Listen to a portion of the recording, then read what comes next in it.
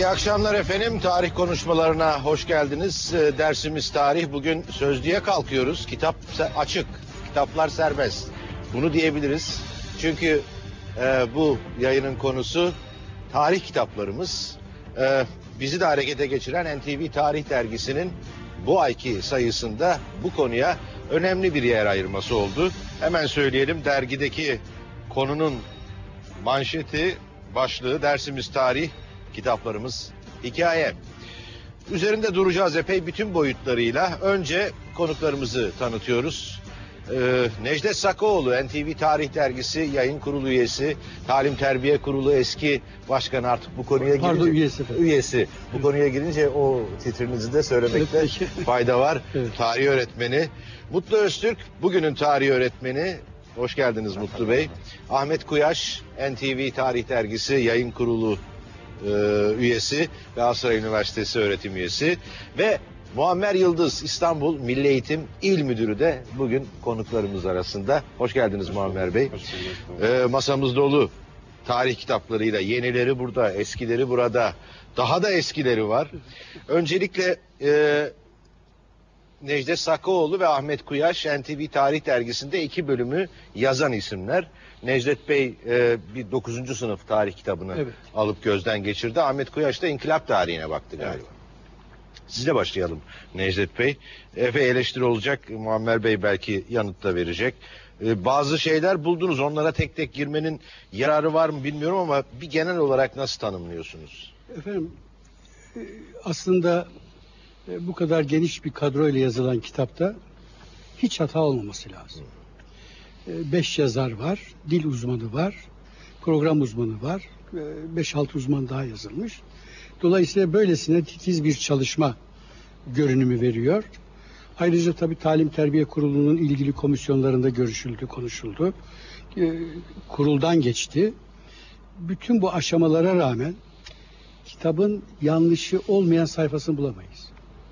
Yani e, türrahat diyeceğimiz ufak tefek imla hataları şunlar bunlar. Onları geçelim ama çok çok önemli tarih yanlışları var.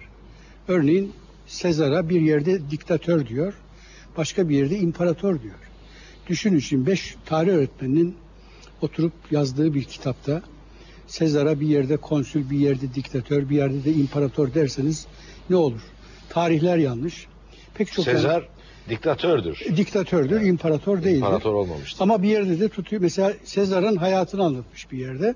Doğum tarihini yerini veriyor. Fakat e, biyografinin sonunda öldüğü yok. Ölüm, ölüm tarihi yok. Ortada kalmış gibi falan. İçimizde Evet, evet efendim. İçimizde yaşıyor. İçimizde yaşıyor gibi.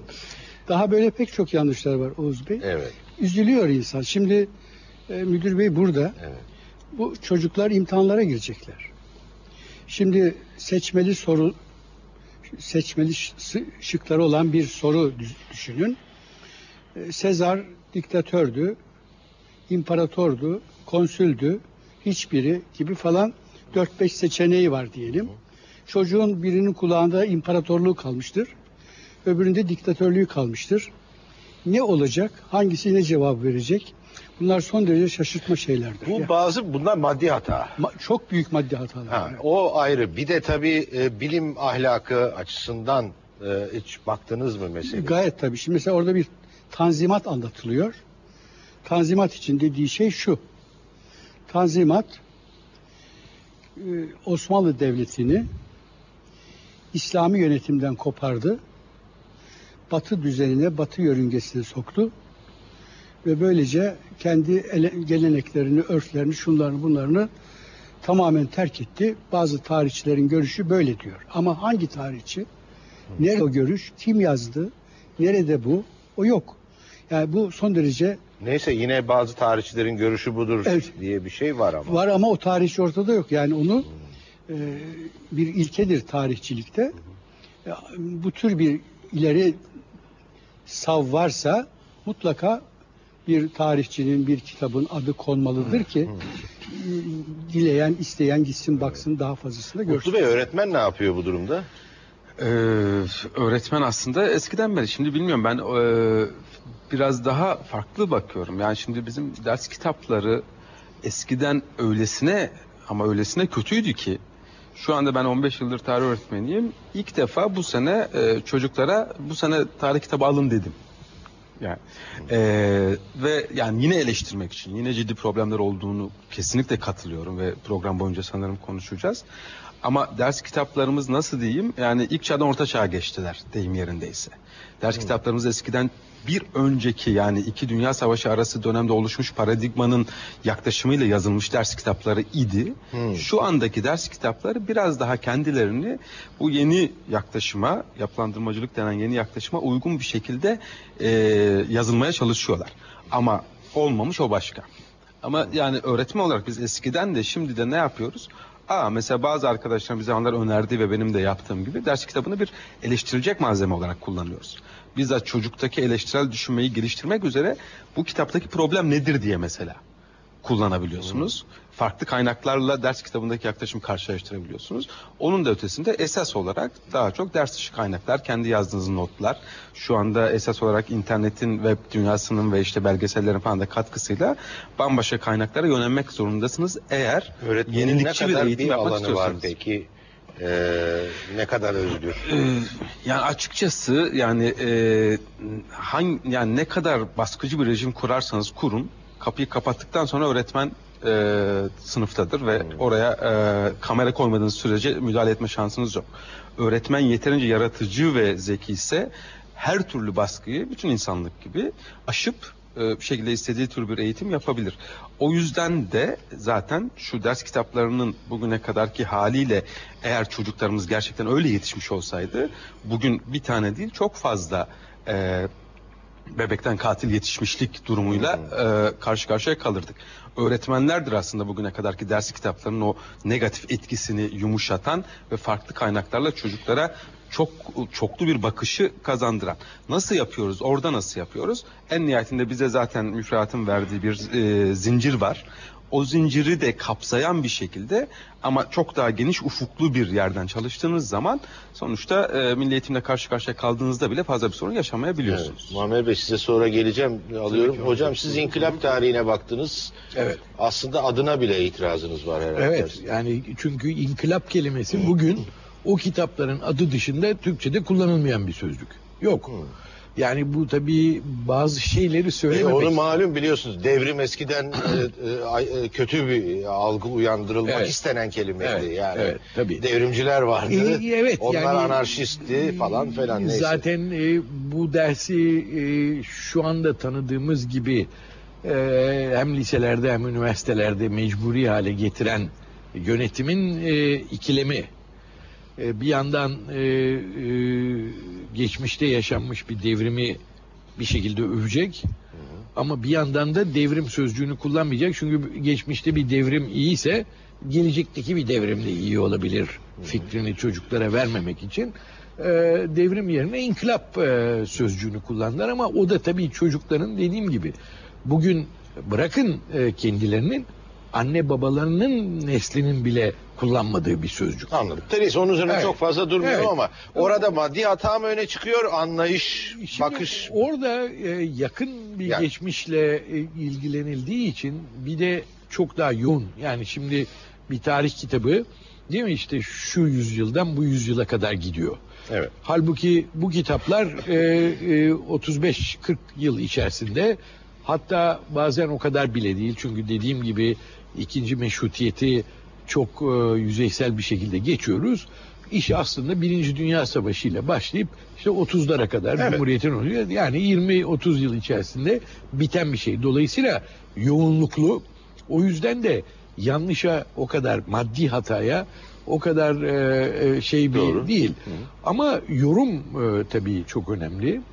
E, bir takım yani bugün e, akademik tarihçilerin üniversitenin kesinlikle kabul edemeyeceği e, ve öğretilmesinin de çok yanlış olduğunu açıkça dile getireceği bir yaklaşım söz konusu.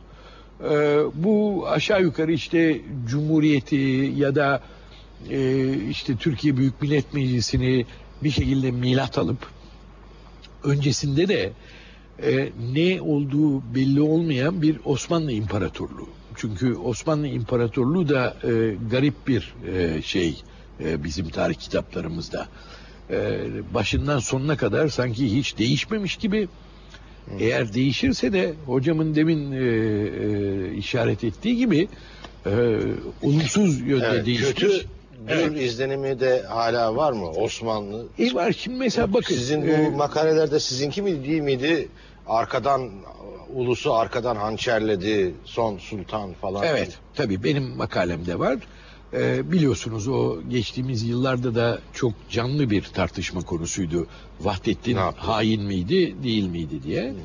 Ee, yani bir kere zaten ben bir tarafın diğer taraf için kullandığı e, bir sıfatın e, bilim yapılan bir ortamda kullanılmaması gerektiği Hı. kanısındayım. Ee, e, yani hain sözcüğünün e, hiçbir şekilde bu böyle bir ortamda gözükmemesi gerektiği kanısındayım. Olumsuzluğun ise e, o adına Kurtuluş Savaşı dediğimiz e, savaştan çok daha önce başlayan bir şey olduğunun e, anlatılması gerektiği kanısındayım. Ve o yüzden de yıllardan beri akademik bir takım dergilerde de yayınladığım e, makalelerde söylediğim gibi ikinci meşrutiyetsiz bir devrim tarihinin kesinlikle anlatılamayacağı kanısındayım. Ama ikinci meşrutiyet tabii çok e, e, sevimsiz bir şey birçok açıdan. Bir kere e, Cumhuriyeti kuranlar e, onlarla rekabet halinde oldukları için onları dışlamışlardı. Daha sonra Türkiye işte çok partili e, dönemle birlikte biraz daha muhafazakarlaştığında bu sefer ikinci meşrutiyetçiler işte e, Abdülhamit Han Hazretlerini Evet. tahttan indiren kötüler oldular. E, şimdilerde bu sürüyor. Bunun yanında bir de tabii Ermeni meselesi vesaire gibi ikinci meşrutiyete dokunulduğu zaman yanından geçmesi mümkün olmayan bir takım konular geldiği için ikinci meşrutiyet e, e, neredeyse hiç anlatılmıyor. Anladım. Peki e, Bir e, tek savaşlardan bahsediyor. evet. İşte Balkan Savaşı, Trabzon. şey e, cahilce bir soru olacak ama yani bilmiyorum. E, Estağfurullah. 27 Mayıs ve 12 Mart 12 Eylül bunlar var mı? Nasıl bakılıyor? Şimdi Yok efendim yani. o kitapları ben incelemedim. Onu e, gene e, e, NTV Tarih Dergisi yayın kurulunda e, arkadaşımız e, e, Derya Tulga inceledi. Yalnız bildiğim kadarıyla bir vatandaş olarak Evet. cevaplıyorum burada. E, e, bizim e, birkaç arkadaşla birlikte e, TÜSİAD'ın girişimiyle yaptığımız kitaplar e, Milli Eğitim Bakanlığı'na örnek olarak verildiğinde ve Milli Eğitim Bakanlığı'nın da 1990'a kadar e, e, e, Türkçe sosyal e, sınıflarında okutulacak yeni kitaplar hazırlanması kararı çıktıktan kısa bir süre sonra Genelkurmay'ın e, 27 Mayıs, 12 Mart ve 12 Eylül'den bahsetmeyecek bu kitaplar diye bir istekte bulunduğunu Anladım, hatırlıyorum. peki. Onlar da elimde şu anda e, sizin TÜSİAD hazır. Benim kütüphanemde de duruyor. Ara sıra bakarım. Yani bir öğrenci edasıyla değil. Tarihe meraklı biri edasıyla. Muammer Bey size geldik. Çok not aldınız.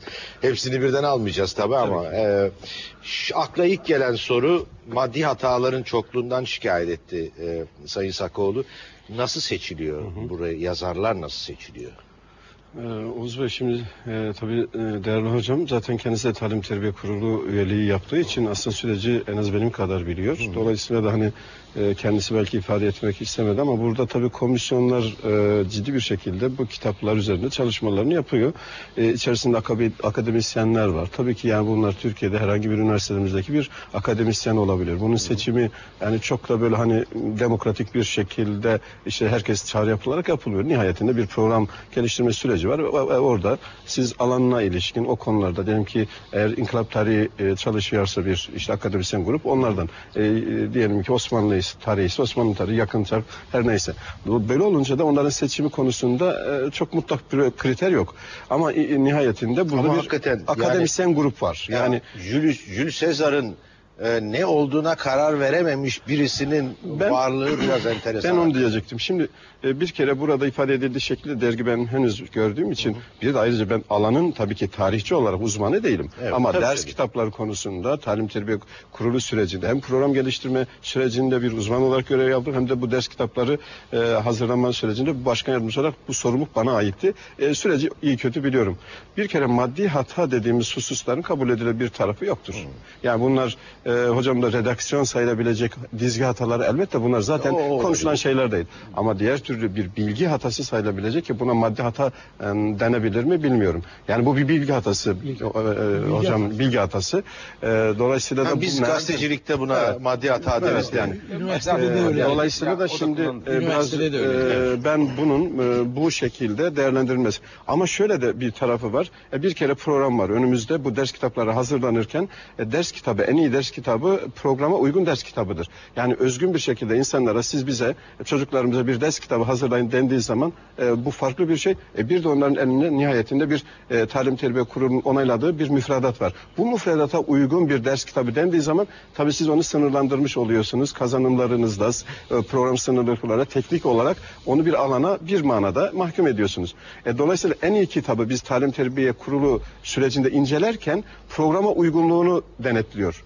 E, bu şekildeki hatalar için e, Bir redaksiyon var var. Var. Kesinlikle var. Bunun içerisinde uzmanlarımız var, öğretmenlerimiz var. Bunlar çalıştıktan sonra defalarca e, düzeltmeler alıyor. Ama e, ben hani teker teker onu söylemeyeceğim ama en az 6-7 komisyondan elinden bunlar geçmiş oluyor. Bütün bunlara rağmen ki ben o redaksiyon kısmına zaten girmiyoruz. Maddi boyutunu tabii bilim e, insanları, bizim hocalarımız, arkadaşlarımız e, sanıyorum bu yayından sonra e, ciddi bir şekilde ilgilenirler ve hakikaten bunların Acaba baskıya yetiştirme telaşı olabilir? Yok yok yani, sayılmaz e, yok gerçi yok ama. bu, bu mazeret olamaz ama şu kadarını söyleyeyim biz bu e, hem program süreci geliştirme sürecinde hem de ders kitaplarının hazırlanma sürecinde ve okutulurken de özellikle de okullardan öğretmenlerimizden geri bildirimler alıyoruz. Akademisyen arkadaşlarımızın yaptığı çalışmalar da nihayetinde değerlendiriliyor ve e, bizim ders kitapları yönetmeliğimizin 17. maddesinde her yıl bu kitapların güncellenmesi, yenilenmesi, bu şekilde hataların giderilmesi. Ama şimdi tabii şöyle bir tarafı da var. Diyelim ki bunlar rapor edildi. İşte bu sizin e, derginin NTV Tarih Dergisi'nin çalışması bir rapordur. Nihayetinde hatta ben buraya gelirken Sevimcan diye bir doktor arkadaşımız var komisyonlarda görev alan. Bu dergi kendi e, elindeydi. Ben bana ulaştıramadı. Ben şimdi gördüm dergi. Yani arkadaşlarımız dikkatle takip ediyorlar. Bütün bunları. E, hocam onun e, sanıyorum sizin e, dile getirdiğiniz hususları teker teker arkadaşlarımız yanıt vereceklerdir. Mutlu Bey'in söylediği konu ise farklı bir yani burada tarihe bakış açısı ve bizim programlarda tarih e, yenilenen programların temel bakış açısında tarihinde ne değişti ve biz mesela diyelim ki Neden? e, neden e, paradigma değişikliği sayılabilecek bir değişiklik var. Esas olan o. Diğer türlü onlar giderilebilir. Biz burada bu yeni Bir ara müfredatımızda verelim e, dilerseniz. e, Reklam arası. evet sunucu açısından zor birisiniz. Nefes almanızı bekledim virgül koymak için E, ama mecbur kaldım sözünüzü kestim. Bağışlayın devam edeceğiz. Ara veriyoruz.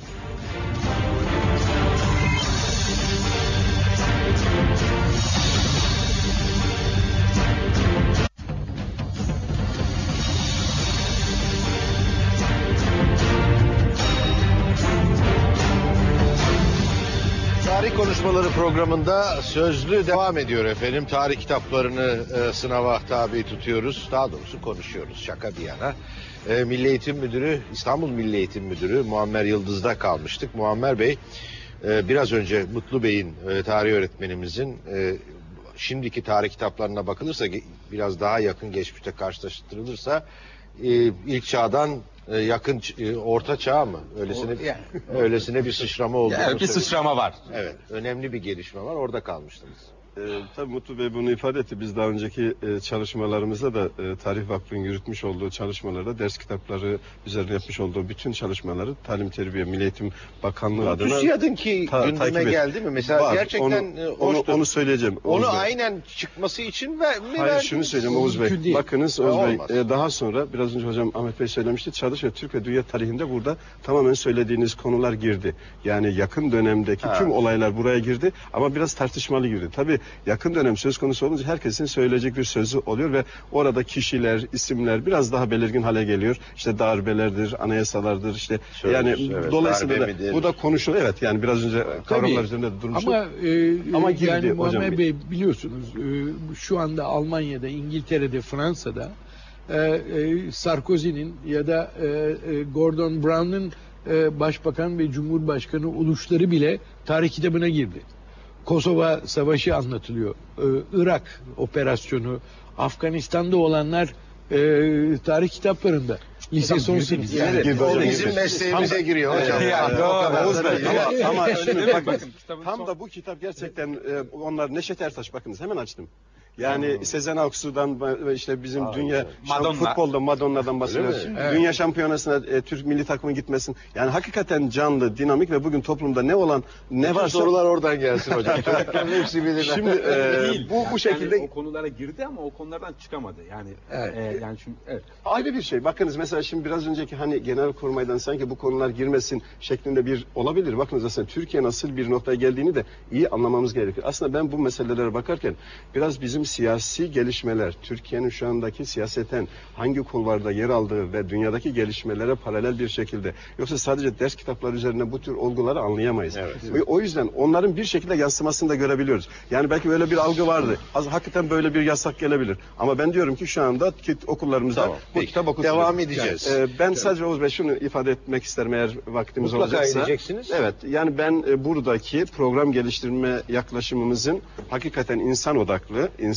merkezli, bireyi e, merkeze alan bir yaklaşım olduğunu e, burada demokrasi, insan hakları temel yaklaşımların dünyadaki gelişmelere paralel bir şekildeki yani konsept konu itibariyle bunların öne alındığını ve olabildiğince geçmişteki tabii bizim ilk dönem Cumhuriyet tarihinin başlangıçta tabii yeni bir dönem ve e, bir işte Osmanlı bakiyesi ama arkada bıraktığımız ve biraz da yeni Cumhuriyet'in temel bir değer oluşturmaya çalışıyoruz. Yani o dönemdeki içeriklerle şimdi yeni zamanda artık kendi rüştünü ispat etmiş ve gerçekten dünya açılmış, evrensel değerlere kucak açan bir Türkiye e, imajına uygun Peki, bir ben yapılanma mesela söz kendi konusu. e, lise öğrenciliğimden hatırlarım. E, hala o günlerdeki tarih kitaplarından aklımızda kalan Türk Türkiye tarihi veya e, Türkiye insanının ilgilenmesi gereken tarih savaş tarihinden ibaretmiş Evet, gibi onu- bir izlenim vardı. Hala öyle mi kitaplarda? Efendim, onu- Değil efendim verirseniz- şöyle değil. Hocam ben sadece bir cümleyle söyleyeceğim o da şu.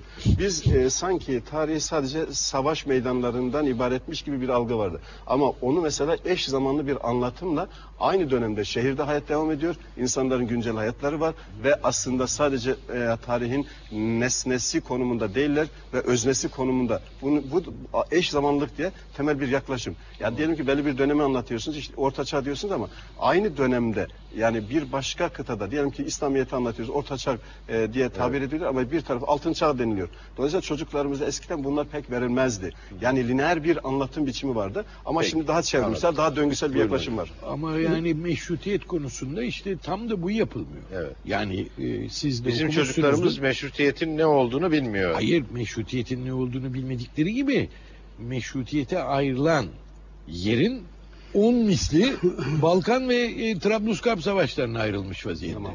Yani meşrutiyetteki parlamentonun ne olduğu. Mesela e, insan hiç olmazsa ilk kız lisesi Kandilli Kız Lisesi 1912'de açıldı der değil mi? O yok. Meşrutiyetle gelen bir şey. Evet. Çünkü. Efendim ama sayfalarca Balkan Savaşı ve e, Trablusgarp Savaşı var. Evet. Şimdi bunun temel nedeni şu Oğuz Bey. Ee, yani kitap konusuna dönecek olursak Evet. bizde tarih kitaplarının ilk gündeme gelişi harp okuluyladır. Tabii. Mektebi Harbi Şahane. Bu kadar eski değil yani. 1850'lerde, Değil 40'larda. yani.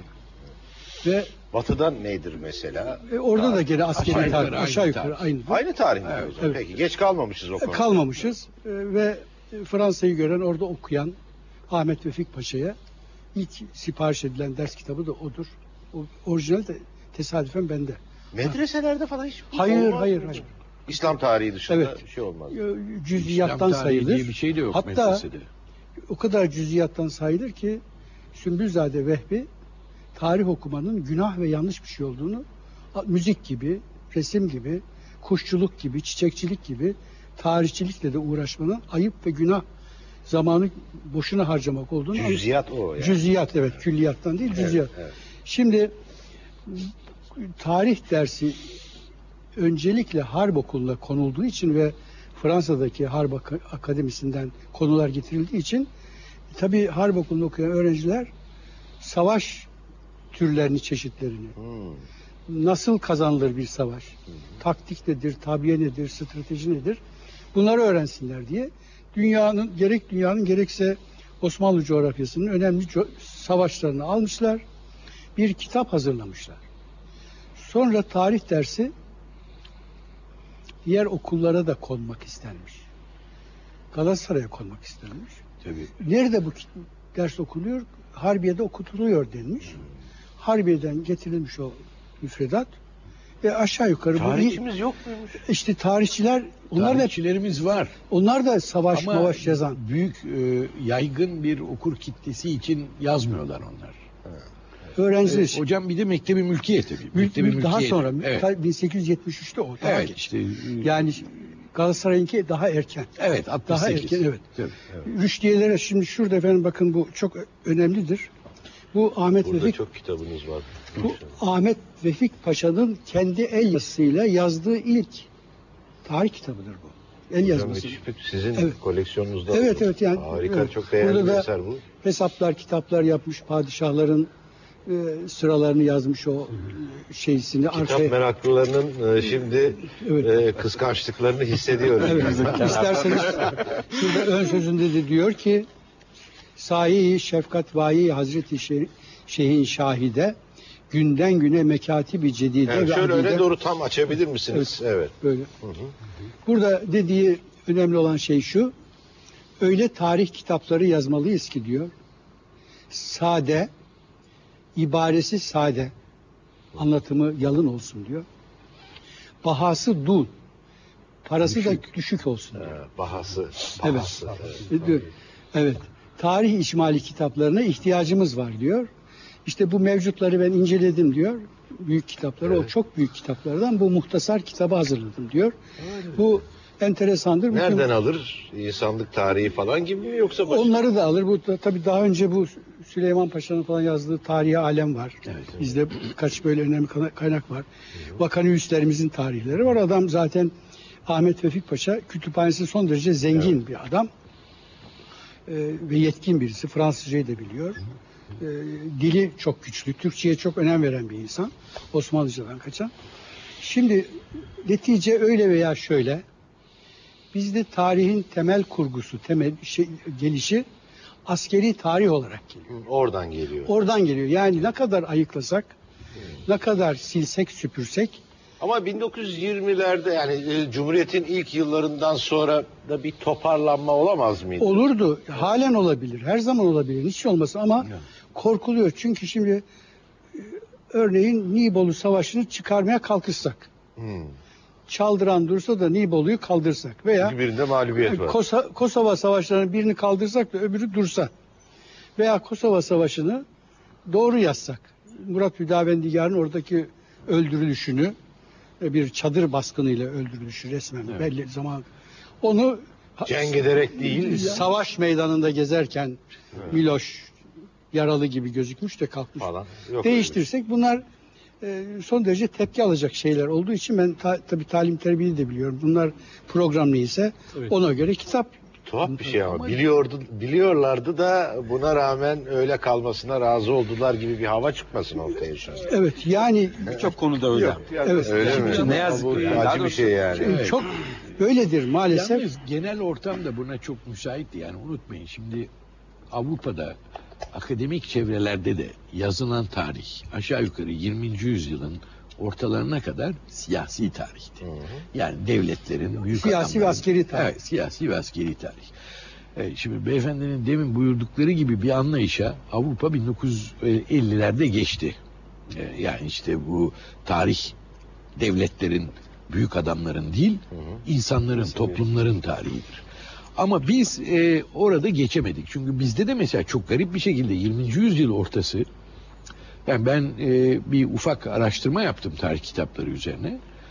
İnanın e, Oğuz Bey 1950'lerde yazılan kitapların 1920'lerde yazılanlardan çok daha geride olduğunu görüyor. Evet, Evet. maalesef. Şimdi mesela Onu demin, ben de duymuştum. demin konuşuyorduk bu yakın dönemin gelmesini. Mesela e, şurada önünüzde duran tarih Şu kitabının mu? evet bende 1926 baskısı var. Bu bir 30 baskısı. Evet. Ahmet Hamit ve e, e, e, Mustafa Hamit ve Muhsin. Muhsin. Evet. Burada hocamın e, söylemişti ondan e, Evet. daha önce yayından önce söylemişti. Çok enteresan bir şey Evet. var. Söyleyeyim. Koca 800 sayfalık kitapta tek Bak, bir hata de- bulunmuş. bir yanlış. Bu O da e, baskıda buraya konmuş. Ve bunu bu kitabın basıldığı zaman da söyleyeyim efendim 1930 Evet. harf devriminin yapılmış. sonra. Yeni bende harfler bende çıkmış. son baskısı çok yanlış yapılması lazım. Aman tanrım. Evet. İşte o yanlışı ya- da söyleyeyim efendim. Oğuz Bey. Türkiye tarihinin 748. sayfasının 5. satırındaki tarih 29 olacak. Kaldı ki bu 1930'da basılmış bir kitap olmakla birlikte çok daha önce çıkmış bir kitabın Latin harfleriyle basımıdır. Evet. Bendeki e, kendi kütüphanemde 1926 baskısı var. La, O ya- Osmanlı harfleriyle. Osmanlı. 26'da Kayıt açamadım. içinde bir tane daha var, e, onu olan size son bölümün adını söyleyeyim. Harb-ı Umumi'den sonra Avrupa. Evet. Yani 1926'da adam 1918'de 26 arasını okutuyor o dönemde. Evet. Evet. evet. Şimdi bu Ya 10 Geçen- yıl O da 9 günlük bir sapmadan bahsediyor burada. Ona Evet, evet, dikkatinizi evet. çekerim. geçen 10 yıllarda bu konuda mesela geriye gitmişiz. Bu ta 2000'lerde tekrar Türkiye'de okutulan tarih kitaplarına giren bir şey oldu.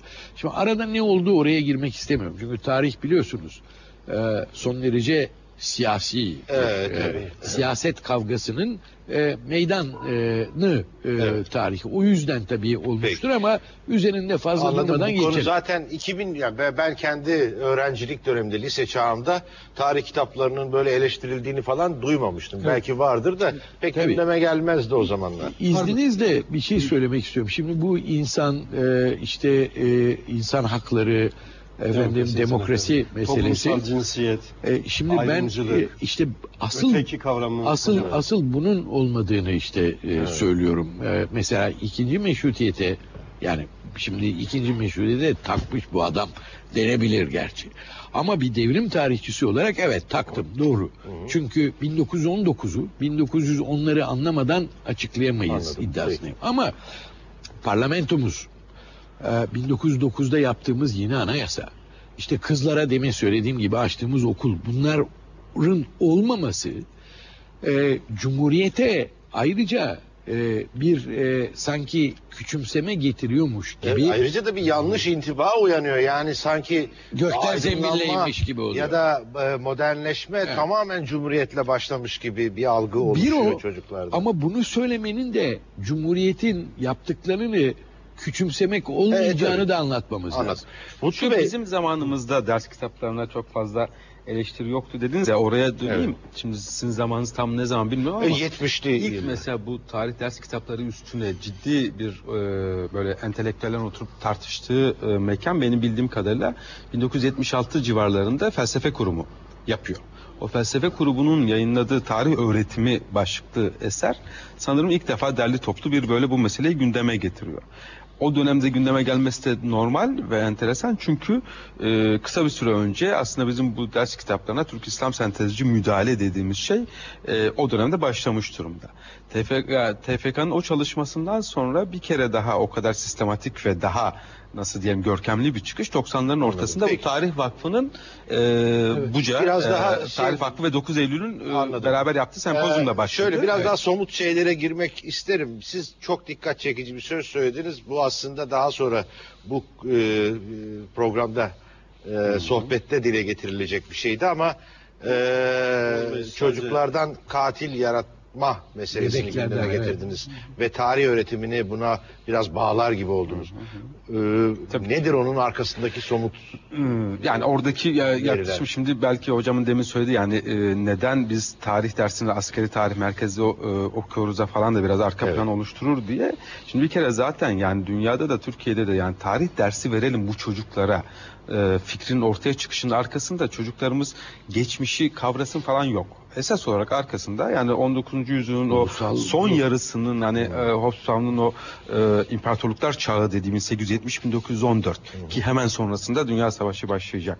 O dönemin o militarist, e, sosyal sosyal darwinist, şöven atmosferinde devletler kendi toplumlarını militarize etmek ve bir şekilde dolduruşa getirmek için e, tarih derslerini kullanmaya ve aslında ihdas etmeye başlıyorlar.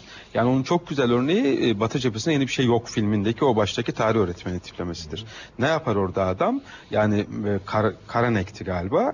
Yani çocukları, e, liseli çocukları hadi arkadaşlar vatan için ölmeye. E, varlığınızı gidin armağan edin Alman ulusuna der ve filmin ve eserin sonunda da aynı çocuk bütün arkadaşlarını yitirmiş bir şekilde sınıfa döndüğünde bu sefer yine öğretmeni aynı e, şeyi aynı nutku çekmektedir. Şimdi tarih öğretmeni tiplememiz esas olarak ve hakim tipleme bu oldu. Yani çocuklara esas olarak geçmişte ne olduğu öğretmek değil, e, onları e, günün birinde karşılarında düşman belli ettikleri ö- e, uluslara karşı saldıracak hale getirecek e, bir söylem. O yüzden de orada en kullanışlı olan şey e, çocukların her an millet dediğin şey bir başkasının e, gözüne oymaya ha- hazır, her an hazır olmalıdır. Her an savaşa hazır olmalıdır. Her an yani dünya Türk olsun ya da Mesela işte dünya Alman daha olsun. anladım. Daha somut bir şey diyeceğim ama bir ara verelim devam edeceğiz. Ne kadar çabuk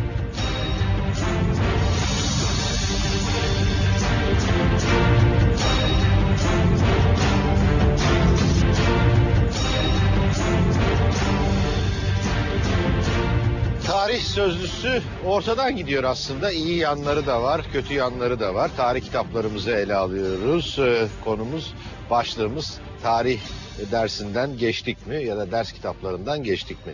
Mutlu Öztürk tarih öğretmeni anlatıyordu. Çıkış yolumuz e, çocuklardan, e, masum bebeklerden katil yaratan bir tarih öğretimi var mı biçiminde? Var tabii. Öyle keskin bir soruydu yani. Evet var tabii ve yani e, ve ona şunu diyordum yani bunu biz icat etmedik.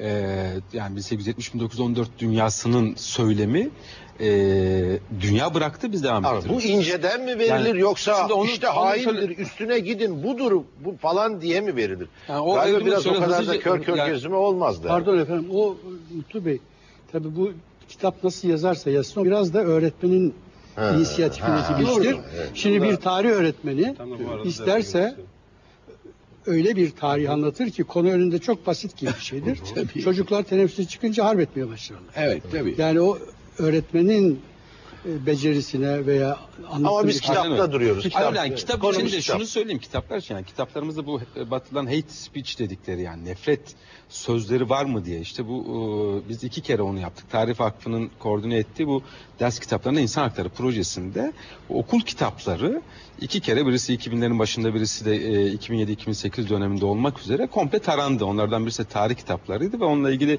raporu en son işte arkadaşların taramalarından sonra ben yazdım. Şimdi gözlemledim kitaplarımızda açık bariz nefret sözü diyebileceğimiz hate speechlerde bir azalma var. Yani hiçbir kitapta mesela kalleş Ermeniler lafına rastlamıyorsunuz. Ee, hiçbir kitapta işte Aman e, tanrım orada bir düşmanımız- Ermeni çocuk o kitaba baksana o ne Düşmanımız Yunanları yani hiçbir demeyeyim tabi aralarda sızıyor da e, orada bir azalma var. E, ama en nihayetinde yani bir yani e, bir sempozyumda söylemiştim. Bir Türk mucizesi yaratıyoruz. Yani kitaplarımıza baktığımızda açıktan ırkçı diyebileceğimiz unsurlar öyle çok fazla değilken Ama sonuçta liseyi zamanlar- bitiren çocukların ortalamasındaki o tür eğilimlere baktığımızda yani farkında olmadan bu tür hataları yapan, bu tür e, rasist diyebileceğimiz argümanları kabul eden Irkçı yani, çocuklara evet, baktığımızda e, ciddi bir oran var. Evet. Yani e, dolayısıyla dediğiniz gibi yani öğretmenlerin genel olarak ders kitaplarının resmi tarih denen şey bu mudur? Medyanın, sizlerin falan da Tam biraz anlamıyla değil herhalde de. Değil yani ayrıca Ama- olamaz. Yani şimdi resmi tarih diye bir e, belki çok kısa bir süre için bir şeyden bahsedebilirsiniz. Çünkü iktidarlarla birlikte değişen şeyler. Evet. Bu resmi tarih ve bugün böyledir, 10 yıl önce öyledir vesaire. Ayrıca e, iktidara alternatif ne kadar olası iktidar varsa o kadar da olası e, e, e, resmi tarih e, adayı vardır. Anladım. Onu da unutma var. Ama, Ama- mesela şimdi Avrupa'da yazılan tarih kitaplarında mesela artık düşman sözcüğü görmüyorsun. Türkiye ile Yunanistan arasındaki en önemli meselelerden biri Evet, buydu. Karşılıklı kitaplarımızdaki Tabii, tabii. Çıkaralım. e, subjektif. Geçmiş Şeyleri bir çıkaralım savaşı bile suçlayıcı. Evet, anlatırken işte bu yapılıyor. Bu Yapılıyor ben, değil mi tabii hocam? Ben onu Tabii. söylüyorum işte. Pardon başka bir şey daha yapılıyor. Tabii. Öyle mi ne? Evet o da şudur. Düşmanlıklar, savaşlar belki azaltılıyor. Kin nefret ifade eden Evet, kavramlar peki. neler varsa onlar temizleniyor. Temizleniyor. Ekran- Karşılıklı komisyonlar var. Şimdi bu kitapta Roma uygarlığı anlatılıyor. 12 lava kanunu var. Sezar var. İşte Augustus'un imparatorluğu kurduğu var. Tabii ki bize bir aşk hikayesi vardır orada. Hayır. Kleopatra olayı o değil Şimdi midir? bunun bu kitabın Roma'yı anlatan bölümünde Oğuz Bey. Evet. Anadolu'nun adı hiç geçmiyor. Anadolu'da en az 20-30 Çok Roma bir şehri var. Side var. İtalya'dan Perge sonra var. dünyanın en büyük En Roma. çok bizde. Bu bilerek Kalıntısı. yapılmış bir şey Bir, mi? bir dakika başka ne deniyor biliyor musunuz efendim burada? Roma'nın uygarlığı şöyle bağlanıyor son cümle. Evet. Romalılar tarım ve hayvancılıkla uğraştılar diyor.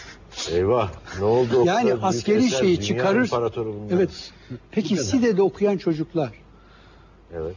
Edirne'de okuyan çocuklar, Hadrianus efendim Eserler ve var. İstanbul'da okuyan çocuklar, adı oradan Ankara'da orada okuyan çocuklar ne diyecekler o gördükleri eser? Ankara'da Roma hamamı Zile'de var. okuyanlar ne diyecek? An- Ne diyecekler? O eserler ne oluyor? Bence işte bunu Spartaküs'ün hemşerileri. Çocuklarımızda hocam, çocuklarımızda bu bilinci, bu farkındalığı, bu analiz, sentez ve sorgulama, eleştirel düşünme yöntemini verebiliyor muyuz? Zaten e, yapılan e, değişiklik ve Milli Eğitim Bakanlığı'nın yaptığı en önemli çalışma da budur. Biz sonuçta çocuklarımıza bir bilgi verebiliriz. Yani biz iyi niyetli, kötü, art niyetli, örtük ifadeler kullanabiliriz ve bir ideolojik bir yükleme niyetimiz de olabilir. Ama işte yeni değişen paradigma tam da bu. Ya biz çocuklarımıza ansiklopedik bilgiler, verilen bilgiyi olduğu gibi kabul etmek yerine bir soran, sorgulayan, eleştirel bir bakış açısıyla bilgileri kendileri açısından sadece e, ders kitabında yer alan bilgi doğrudur anlamında değil. Dolayısıyla karşılaştığı her bilgi, bilimsel bilgi mesela çocuklarımıza bu yön- yöntemi de mesela bir bilim e, düşüncesi ne ya da bir bilimsel esere nasıl bakır? Bizim karşımıza çıkan bir önermeyi nasıl algılamamız gerekiyor? Aslında bu tür bir bakış açısı verdiğimiz zaman ki bu yeni bir müfredat bunu veriyor. E, çocuklarımız ayrıca biraz önce siz de Ama yine de ettiniz. yani bu- ama bunlar şöyle olmaz. olmaz. Şey Olma- lazım. Ama onu söylemiyorum ben. Evet. Hayır ben onu söylemiyorum. Tamam Yok, çocuk onu- bu eğitim tarzıyla sorgulayıcı bir yapıya kavuşur. Şimdi bu yani bu bir rastlantı değil ama yani şimdi yani Anadolu tam, yok, tam hiç. sizin söylediğiniz gibi yani yani şimdi bizim ortak aklımız Tercüme edeyim ben yani ortak dilerseniz bu ülkenin kültüründe Roma'nın varlığını bir Roma'nın adı yok, bir izi yok. kenara bırakmak. Anadolu adı geçmiyor. Ya zaten Roma- yazan arkadaşlar da Roma mesela Roma Kaldı ki- İmparatorluğu milattan önce 753'te başlatmış yani Roma Buyurun, İmparatorluğu buyurun. milattan önce 753 milattan sonra yani Roma uygarlığı yani neyse işte açıklamaya e, gerek yok. Şimdi, şimdi hayvancılık şu- yani Şimdi Tarım ve Yani- hayvancılık. yani Yani şimdi Talim ve Terbiye Dairesi Başkanlığı. Halbuki tam tersine adamlar Bu demin or- de- askeriyle meşhur ordusuyla yani ve, Ve mimarisiyle ya. yani mimariyle. Yani şehir mimarlığını dünyada kuran Romalılardır yani. Evet. Efendim Muammer. Bey'in demin anlattığını e, çok farklı e, e, sonuçlara gitmek için de yapabilirsiniz. Ama Tabii, burada olur. tabii, Tabii, tabii. yani tersi de yapılabilir. tersi yani ya, e, ama somut bir takım bilgi yani üstelik de o çocuğun hocamın demin çok güzel söylediği gibi iç içe yaşadığı şey hakkında iki üç kelimeye, üç beş cümleye orada rastlaması lazım. Bana kalırsa zaten dünyasının gelişleyip hoşgörülülüğü ya da atalarının çok Tabii o- farklı insanlar olabileceği fikrine zaten bir girdi mi o, o oradan e, hocamın biraz önce söylediğine varması daha da kolay olur. Hocam ben şunu söylüyorum bakınız diyorum ki şimdi bizim mesela yine e, hep müfredat üzerinde duruyorum. Çünkü bakınız bu kitapların anası müfredattır. Ana esası müfredattır. Müfredatta yapılan değişikliklerin yansıyıp yansımadığı konuşalım. Ama şunu söylüyorum. Hocamın da Ahmet hocam da tam söylediği manada bugünkü bizim e, sadece tarih e, derslerinde değil çocuklara matematik dersinde de bunu yöntem olarak öğretiyoruz. Somuttan soyuta gidilir. Çocuk önce yaşadığı kenti, önce yaşadığı şehri e, modern hareket etmesi İşte, gerekiyor. Evet, söyledim. Yani benim inanın bakınız mesela ben İstanbul'a bu sene bir ders koyduk. Adı İstanbul diye bir ders. Niye? Çünkü çocuklarımız İstanbul'u tanımadan e, dünyayı tanımaları mümkün değil. Ya da tanısalar bile esas olan burada yaşadığı çevreyi tanımış olması. Bakın, ben Çok söyleyeyim dolayısıyla yani bunun bir yöntem sorunuysa diyorum. Şimdi bakın bakın son dönemdeki iyileştirmelerin kitaplara yansımadığı konusundaki yapılacak bir eleştiri kabul ediyorum. Muammer Bey anladım. Şöyle bir Oğuz şey var. Ya aşamalandıralım. Bakın şimdi birincisi en primitif ve en ilkel düzeydeki problem kitaplarda madde hata olması yani hocamın söylediği.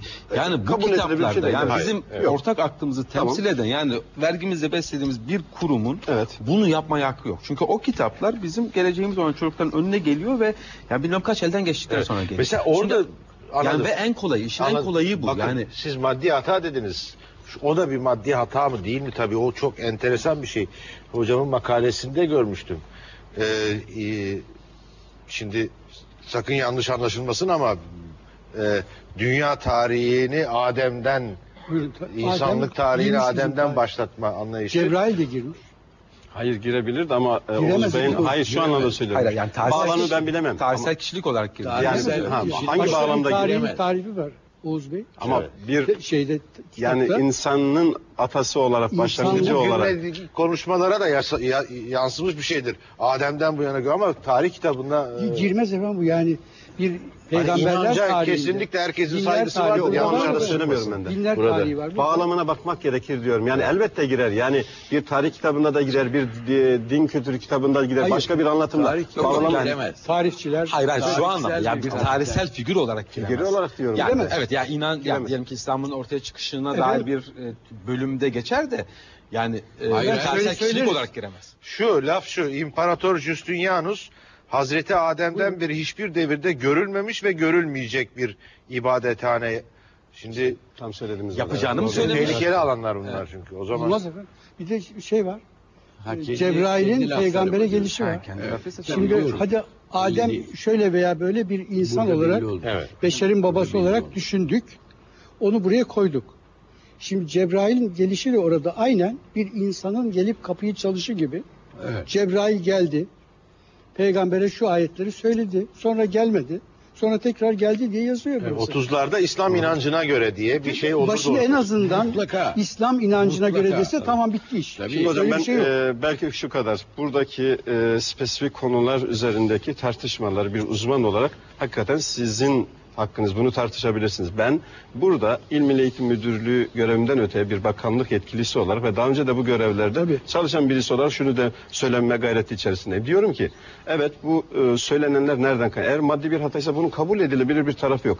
Ama bir bilgi hatasıysa bunun da bakınız tartışılmasını benim yapacak değilim. Onun Tabii, nihayetinde tabii. bir Toplanıp yap, çalışan hocalar vardır ve siz bir rapor hazırlarsınız ama bakanlığın geçmişten farklı olarak hocam şunu ifade etmeye çalışıyorum. Yaptığı bir şey var. Biz bütün toplumda yapılan bu tür tartışmaları dikkate alıyoruz. İşte Mutlu Bey söyledi. Birinci yapılan e, va- e, şeyin vakfın kitapları, yapmış ders kitapları aldık müfredat geliştirme sürecinde ve teker teker hakikaten dikkate alınmıştır. Ama yani bizim tabii bunun tamamını e, giderdik ve bunları e, yansıttık dememiz mümkün değil. Ama dikkate alınıyor, takip ediliyor. O maddi hatalara ben girmiyorum. Ama Başlı başına Muammer Bey'in buraya gelmesi bile. e, Sağ olun. şu kadar. Yani- bir dakika. Ve yani maddi şimdi- hatayı Hocam, kabul etmez bulması Hayır ama bile bambaşka bir şey. da- bir kere biraz önce sizin yani- Oğuz Bey söylediğiniz bir husus da vardı. Onu da e, lütfen tamamlayalım. Bizim sadece kendi toplumumuzda diyelim ki öteki kavramı hakikaten artık e, toplumsal anlamda belki demokrasi, insan hakları bağlamında çok yeni e, konuştuğumuz ve işte hoşgörü, demokrasi, içselleştirmek, öteki, empati gibi temel kavramlar çerçevesinde bireyi öne çıkarmak, bireyi güçlü kılmak ve birey farklı bireyin farklı olması tehdit değil bir imkan gibi yeni yeni hepimizin de yani bunu çok önemli kürsülerde bugün üniversitelerde bile bu kavramlar tartışılıyor. Dolayısıyla Milli Eğitim Bakanlığı bütün bunları e, ders kitaplarına, müfredatına yansıtma gayreti içerisinde. Ya bunun için komisyonlar kuruyor. Ders kitapları yayınlanıyor ve bir vakıf, bir dernek, bir sivil toplum kuruluşu bunu dikkate alıyoruz. E, yurt dışıyla, Yunanistan'la, Almanya'yla, Ürdün'le yürüttüğümüz e, öteki kavramı, ırk şey ifade eden, düşmanlık, kin, nefret ifade eden kavramlar ayıklansın. Karşılıklı komisyonlar çalışıyor ve bu gayet de güzel Evet, yürütülüyor. evet, evet. Toplumsal cinsiyet konusu farklı bir bakış açısıdır ve bizim derslik kitaplarında bunlar genellikle çok vulgar biçimde değil de biraz önce dendiği gibi örtük bir şey şekilde yer alıyor. Mesela bir matematik e, problemi kurgularken bile biz e, farkında olmadan görüyoruz ki orada bir toplumsal cinsiyet farklılığı yaratacak Evet. e, bir e, örnekle Anladım. karşı karşıya olabiliyoruz. E, bütün bu çalışmalar şu anda e, bakanlığımızın yürütmüş olduğu kıymetli çok değerli çalışmalar. Evet gerçekten Onu öyle. Ben söylemeye yine çalışıyorum. de e, hocamın koleksiyonuna biraz da döneyim yani. Biraz nefes alalım Efendim, bu bu- arada. Çok güzel şeyler var çünkü. 1901, 2, 3 yıllarında 1901, 2, İlke- ya evet 100 sene 110 sene önce kamera geldi. evet bu bir tarih kitabı ama ya el yazması tarih Aman kitabı. Tanrım. İlkokul öğrencileri için yazılmış iptidai mektepler için. Aynen bu Fezleki Tarihi Osmani'nin tıpkısı. Ee, Ha, öyle ç- mi? çarşı yazıcıları, hattatlar çala kalem bunları yazar çoğaltırlarmış. Kitap 10 kuruşta bu 5 kuruşa daha ucuza elde Bir ediliyor. tür fotokopi. Evet, evet. Ay, evet, evet, evet, evet, evet. Bu da bu da ilginç. Bu da belki bugün bizim dershanelerimizin uyguladığı bir şey. Soru cevap sıralamasıyla Anlattı. bütün tarih konuları burada var. Ha, Evet. yardımcı kitap. Evet. Asya'yı evet, Asya'yı Vüsta'dan Anadolu'ya gelip işgal eden, zulüm uygulayan Moğol hükümdarı kimdi? Cevap Aa, Timurlenk. Biz de diyoruz bu dershaneler olgusu yeni mi? Meğer o da tarihten Evet, getirdiğimiz da- bir şey. evet. Çok hoş. Evet. Evet. Hatta çizgili defter. Evet, evet, Evet. yapılmış. Evet, cildi mildi kapağı hep o zamandan kalma. evet, ekmek parası biraz da Evet. herhalde şey. Şimdi efendim yani. şunu söylemek istiyorum lütfen. Biz tarihle iç içeyiz. Senelerdir uğraşıyoruz. Ee, Türkiye gibi bir tarih vatanında, tarih ülkesinde çocuklara da gençlere de doğru tarih vermeliyiz. Tarih çok gerekli bir bilim alanıdır. Ve tarih edinimi fevkalade yüksek bir kültür düzeyi sağlar. Ama onu yapacağımız kitapları da çok iyi hazırlamamız gerekiyor. Ee, Böyle derleme toplama şeylerle Bir şeyi olacak- soracağım doğru. Değildir Ee, aklıma istiyorum. geldi. Kıstas nedir e, Muammer Bey? Şu yazarların bunu oluştur yazarlar buraya imzalarını atarken oradaki kıstas nedir? Kıstas Öğretim şöyle. üyeliği midir?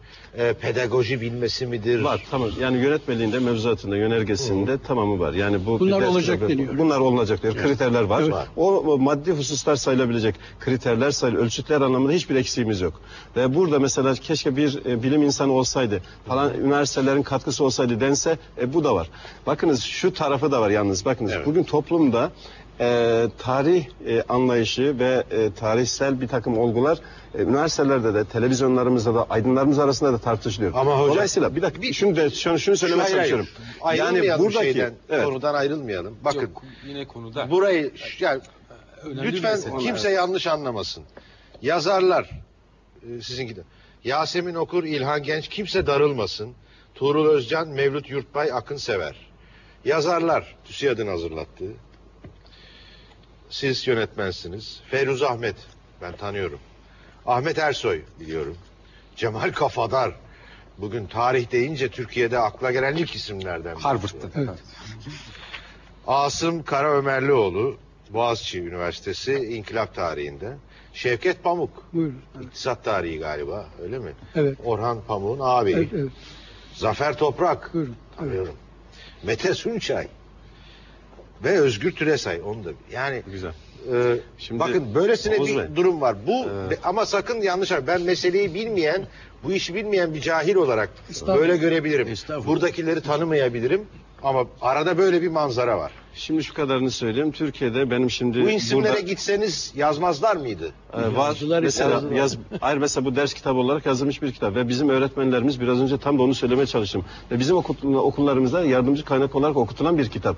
Eskiden bu tür kaynakların okullara girmesi ben bir zihniyet değişikliğini ve uygulamada gerçekten Türkiye'de çağdaş sayılabilecek yani rapor niteliğinde uygulamaların olduğunu söylemek istiyorum. Eskiden Talim Terbiye Kurulu'nun onayı olmadan yanlışlıkla bir rüzgarın sürüklediği kağıt bile içeri giremezdi. Talim Terbiye'nin onayı var mı? Ama bugün biz yardımcı kaynaklarımızı serbest bırakmışız. Mutlu Bey bakınız bir öğretmen olarak aydın bir entelektüel bir insan olarak diyor ki bir öğretmen isterse bu kitabın içeriğini ama hakikaten çocuklarımızı biraz önce benim de söylediğim manada tartıştırmak ve onların doğruyu kendileri bulmak, kendi önermeleri üzerinden konuşarak tartışarak anlaşmaları bile gerekmez. Öğretmenler için ayrı mi? rehber kitap var galiba. değil mi? Rehber değil, Yani Yardımcı söz kaynak şeyde var, yönetmelikte var, Var, var. yönetmelikte var.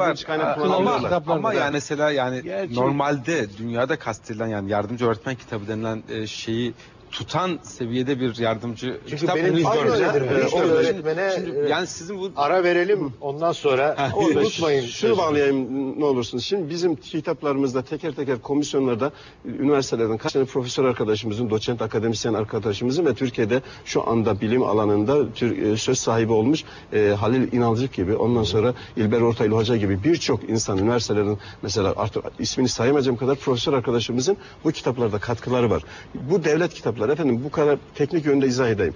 Bu devlet kitapları biz şimdi özel sektöre yazdığı yaz, özel sektörün yazdığı kitaplar var, ders kitapları var bu müfredata uygun bir şekilde. Bir de devletin kendimizin hazırladığı kitaplar var. Dolayısıyla bu komisyonlar hazırlanırken onlara rehberlik eden e, program yöneten hocalarımız var ama bunun içerisinde bizim talim terbiyede ya da üniversiteden aldığım e, Hayır. araştırma görevlisi arkadaşlarımız Elbette görev incele- alabiliyor. Ama yani dediğim Yani- gibi e, tekrar oraya dönüyoruz. Ben sanki takıldım kaldım ona.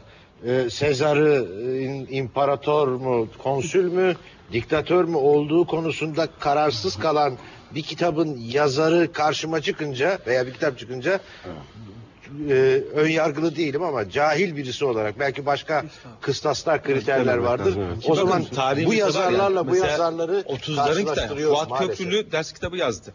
Ee, Yusuf Akşuralar yani o 31'in ders kitaplarında yine aynı şeydi. Necmettin Yani Sadık. bugün de ona benzer bir şey denemek lazım. Yani bunlar Ara herhangi verme kitaplar zamanımızı değil. gene Evet. atladık. İyi ki Recep sesini sedasını çıkarmıyor. Ara veriyoruz.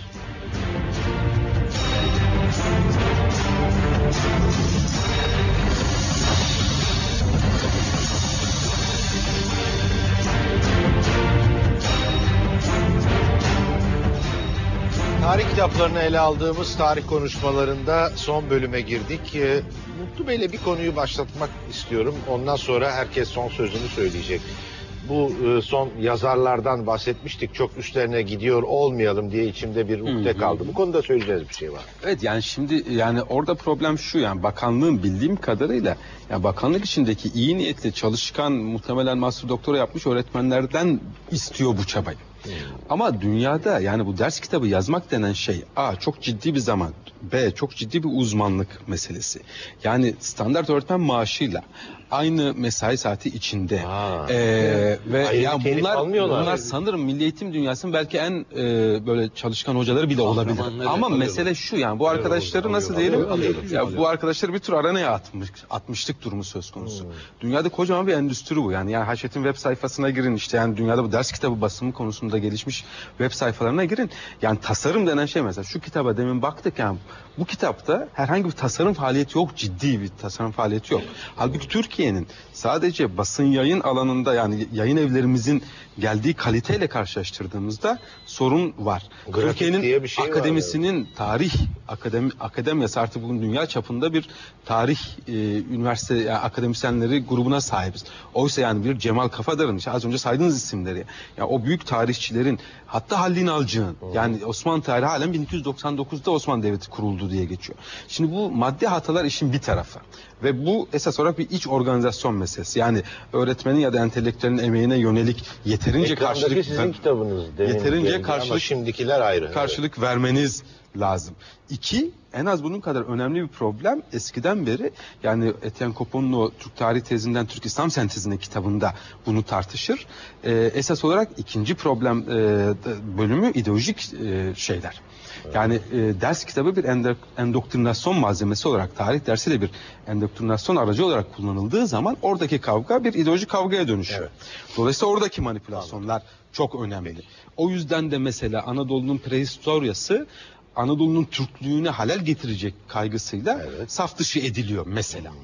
Ee, diyelim ki İslam tarihinin kitaplarda alacağı bölüm ve hangi söylemle söyleneceği mesela 1930'lardaki kitaplardaki gibi mi yoksa işte e, 70'lerdeki kitaplardaki gibi mi anlatılacağı yine çok önemli bir tercih meselesi. Yani şu ana kadar söylenmediğimiz yani daha zamanımız var sanıyordum bir de kitaplardaki yokluklar meselesi var.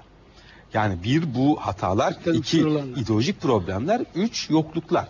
Yani bu ideolojik problemler dediğim, endoktrinasyon dediğim o, o milliyetçi e, ve Türk İslamcı saplantılar dediğim şeyin en tipik örneklerini zaten Ermeni meselesiyle ilgili bölümlerde görüyoruz. Ve bu kitapların aynıları aynen Türkiye'li Ermeni çocuklar okuduğu okullarda da okutuluyor. E, bu bir problem noktası. İki, yokluklar. Yani Türkiye toplumunun çeşitliliğini, Türkiye toplumunun multikültürel yapısını herhangi bir anda çocuk kitapların herhangi bir yerinde bir Alevilik meselesiyle karşılaşmıyor. Bir Kürt meselesiyle ki yani Türkiye'nin son en azından son 25 yılına damgasını vurmuş bir problem. Ona dair hiçbir ipucu yok. Dolayısıyla böyle bir e, Recep'ten çok kötü böyle haberler geliyor. karşı Hızlı davranacağım. Hocam sizin söyleyecekleriniz eksik kalmasın. tabii tarih yazmakla tarih ders kitabı yazmak çok farklıdır. Ben hasbelkader tarih yazmışlığım var. Fakat hiçbir zaman tarih ders kitabı yazabileceğimi zannetmiyorum. Evet. Çünkü evet. Bu Ahmet- konuda itirazım var.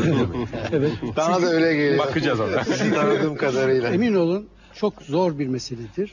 Evet. Örneğin çocuk düzeyinde yani ilkokul düzeyinde bir tarih yazıyorsanız Atatürk 1919'da Samsun'a ayak bastı derseniz o ayağı ve basılan yeri düşünür. Samsun ona göre ayağın altındaki bir yer olur. Oraya Atatürk Samsun'a gitti diyeceksiniz. Çıktı da diyemezsiniz. Dil, dil bakımından. Dil yani bu o kadar hassas bir konudur ki e, hitap ettiğiniz düzeyin kavramları nasıl algılayacağını, nasıl anlayacağını bilmeniz ve cümleleri ona göre kurmanız lazım. Bu kitaplarda bu hiç bu böyle bir kaygı yok. Pedagojik hiçbir değer yok hemen hemen. Hiç bakılmamış. Olduğu gibi alıntılarla yazılmış, konulmuş. Tabii müdür bey biliyor oradaki çalışma şartlarını. Yani onlar bunu kasten yapmadılar. Evet. Çok titizle çalıştılar Çalışıyor, mutlaka. kesinlikle. İyi bir şey yapmak için de uğraştılar. Çünkü ben o komisyonların çalışmalarını görmüş, izlemiş, onlarla beraber olmuş bir insanım. Yani e, söylüyorduk, ediyorduk, şöyle olsun. Fakat neticede bu bir yetenek ve başarabilme meselesidir, sorunudur. Organizasyon tabii. E, or- Organizasyon ve bir yani. organizasyon ve bir harcama yatırım meselesidir. Yani orada verdiğiniz ders saat ücretiyle kitap yazdırılırsa bu iş böyle olur. Yani Ama biz öğretmeni e, okulda dersten De alıyoruz. alıyorsunuz. Orada görevlendiriyoruz. Buyurun. Tabii ama eş zamanlı olarak derse gitmiyor, okula gitmiyor. Artık bütün zamanları tam zamanlı çalışıyor Evet. hocam orada. Evet. E, araştırma yapabiliyor. Ücretini oradan alıyor? Evet, ücre- ücretini. Yani diyelim ki alması gereken e, fiil olarak yapması gereken görevi fiil olarak biz de orada ders kitaplarına harcıyor ama ayrıca bir telif ücreti de alıyor. Ama ya işte diyorum yani ders ki iyi kötü tarih yazmamıza rağmen çok zor bir meseledir. Yazamayız, kolay kolay altına giremeyiz. Evet. Bunun e, bilimsel Yani e, şimdi hocam başka bir şey daha var. E, Oğuz Bey'in şu anda sayfalarını çevirdiği kitap evet, basıldığı yıllarda Şemsettin Günaltay. Sayın, evet, evet, e, tarihi. ya da Evet. tarih 1 2 3 Şunlar kitapları yani İbraniler bölümüne bakıyordum. Evet, kağıtları e, Mesela onlar dizgisi? Refik Altınay'ın yazdıkları. Evet, fotoğrafları, İbraniler artık okutulmuyor. e, bunlar E, bir- o çağda e, dünyada basılan kitaplarla eşdeğer. Evet. İçeriklerinden çok bahsetmiyorum. büyük emeklerle paralar. E, Kaliteden bahsediyoruz. Kaliteden Kalite. bahsediyorum. Oo, bir Kağıdının kalitesi, Tabii, tabii, fotoğrafları. Evet. Yani Çocuklara bende çok şey bu kitaplar olduğu gibi mesela 60'lara kadar e, Batı dünyasında basılmış kitaplar da var kütüphanemde. Tarih ders kitabı, lise tarih kitapları. Evet. Onlar da siyah beyaz. Bugünkü gibi renk Hı. yok. E, aynı standartı tutturmuşuz. Yalnız bana kalırsa burada başka bir şey var. Burada bir de e, siyasal irade diye bir şey var efendim. Yani Türkiye'nin birçok başka konusunda olduğu gibi bu tarih kitaplarından da devletin çekilmesi lazım. Şimdi e, biliyorsunuz mesela bir örnek vereyim size. İşte ya bu Türkiye e, laik e, değil e, işte hala e, Diyanet İşleri Başkanlığı diye bir şey var diye herkes şikayet eder. Ama hiçbir parti Diyanet İşleri Başkanlığı'nı kaldıralım demez. Ne derler? Ben iktidara geldiğim zaman onu ben kullanırım der. Şimdi tarih de böyle bir şey. Ee, o yüzden ha e, e, bir e, milli eğitim politikası olmaması mı gerekir? T- Tabii ki olacak. Mutlaka olacak. Dünyanın her yerinde var. Ama müfredat denilen şey iktidar tarafından saptandıktan sonra iş orada durur. Ondan sonra kitabı devlet yapmaz. Buradaki kitaplara bakın hepsinin altında TC Milli Eğitim Bakanlığı vesaire yazıyor. Özel sektöründe var ayrıca değil mi hocam? Onu Özel, biliyorum. özel sektörde var ama özel sektörün bastığı kitaplar e, da devletin denetiminden e, geçiyor Tabii ve ki. orada tabii e, onayı gerekir yine. bu bu kitap e, endüstrisinin e, e, ortaya çıkarttığı müthiş rakamlar dolayısıyla orada da bana kalırsa bazı adam kayırmalar vesaireler şunlar bunlar oluyor kesinlikle. Bu yıllardan beri duyduğumuz bir dedikodudur. Yalansa günah benim boynuma. Aa bir dakika Ancak- burada çok çok özür dilerim. Pardon. Yani özgür bırakılması gerekir. Her yayın Bu beni evi çok şaşırttı. Peygamberin resmi var. Ne zaman ait bir kitap? Evet. Yazımız 28. 28. Ye- yeni harfler ilk çıktı. Ee, açmayın. O, o hayır hayır. Muhteşem bir resim efendim. Evet. Yani 1928 çocuklar için. Yani peygamberin tabii ki böyle bir- tasviri var. Yani Tabii, resmi tabii, dediğim kendi şey. resmi değil, hayali bir şey. İşte bakınız burada mesela e, konmamalı, ko- konmalı mı, konmamalı mı? Oğuz Bey'in refleksi biraz konmamalı. Çünkü Evet. peygamberin resmi olmaz. Ama şimdi mesela biz farklı bir yorum getirdiniz. Hemen burada farklı düşünmeye başlıyoruz. Evet, ben Evet. reddettim. Evet, ben ben şunu, göre- şunu Fark söyleyeyim. ettim. Yani, yani şimdi yani Türkiye yani Davutoğlu'nun bakan olduğu bir memleketin ders kitapları böyle olamaz. Yani stratejik derinliği alın okuyun. Evet. Aynı insanın bakanlık yaptığı bir memleketin ders kitaplarını açın okuyun. Yani ben şunu demeye çalışıyorum. Hangi kesimden olursak olalım. Yani Türkiye'nin hiçbir siyasal kesiminin deyim yerindeyse eliti, entelektüel eliti bu kitapları hak etmiyor. Yani nereye biz çağrı yapsak ve arkadaşlar artık çocuklarımıza iyi ders kitapları okutacağız desek gönüllü olarak emek verecek bir sürü insan var. Evet. Ee, orada çok Evet. somut bir örnek var. Ee, Yani Süremiz yöntem bitti, vardı. Şunu söyleyeyim. Yarışma. Yani Evet. bizim hem de benim üyesi olduğum sendikanın nedense yaptığı bir girişimle yani tam bilmiyorum. Evet, aynen, aynen. O e, iptal oldu ama yani özel bir jürinin kontrolünden geçecek bir e, yarışma sonucu seçilsin ders kitapları. Evet. Ben bunu Oğuz öneriyorum. Bey, bu konuda Yani bir ara bunu bir- getirdiler, Evet. iptal edildi. Muhtemelen e, ayrıntılardan. açın. ben Ancak- oradan gireyim isterseniz. Biz Hocam bu kitaplar bir, bir yarışma. şey rica edeceğim. Bu, bu konuyla ilgili. Yarışmaya ben de varım. Yalnız yarışmayı kazanan tek bir kitap herkes tarafından okunacak kitap olacak diye Evet. bir şey yok. bir çeşitlidir yani. Evet. 4-5 mesela. Yani şimdi bakın e, e, e, Fransa'da çocuk e, gittiği zaman bir okula hoca diyor ki A yayın evinin e, yapar? lise ikinci sınıfını alacaksın diyor. Bir başka okulda da B yayın evinin C, D, E, F gidiyor. Şimdi yani bakın burada yapı değişmiyor. Ama içeride 3-5 cümle belki farklı olabiliyor. Şimdi Bey, bu O özgürlüğün tanınması lazım. Son çok kısa olarak şunu ifade etmek gerekiyor. Aslında bu konu bir kere bu ders kitapları nasıl hazırlanıyor bu süreçte geçmişte neler vardı şimdi neler oldu. Örneğin geçmişte sadece bir devletin yazdığı kitap vardı özel sektör diye bir şey yoktu. E, Türkiye'nin ekonomik, demokratik, siyasi yapısıyla paralellik arz ediyor. Bugün özel sektörü açıldı ve aynı kitapların e, en az ben bildiğim mesela matematik alanından biliyorum. Matematik e, ikinci sınıf, ilköğretim ikinci sınıfın 12 tane ha, pardon 16 tane farklı ders kitabı var. Bütün yayın evleri özel sektör. Bir tanesi devletin, diğerleri özel sektörün. Dolayısıyla öğretmenlerimiz bu kitap seçiminde de bir şekilde bu farklı kitapları seçebilirler. Evet, peki. Bakınız geldiğimiz nokta itibariyle e, önemsenen Yarışmaya- ya, olayına yarışmayı mahkeme yalnız. Yarışmayı mahkeme Ha, durdurdu. doğru, bakanlık bakanlık ya durdurdu. Ama yani. yani başka yani bir şekilde gündeme Ama getirilebilir yani. aslında bizim de talebimiz Bir bu son noktada. sözü sizden alayım hocam kapatıyoruz. o bile. kalkıyor. Evet, tarih ders kitapları mutlaka yeniden ele alınmalı ve e, bilim ne diyorsa o yapılmalıdır. Evet. O kadar. Çok teşekkür ediyoruz bütün konuklarımıza. Daha çok konu konuşulurdu. Bütün tarih konuşmaları böyle oluyor Muammer Bey. Ee, yetmiyor zaman. Bana yeni başladık gibi geldi. Evet maalesef. Evet. Efendim iyi akşamlar diliyoruz. Hoşçakalın.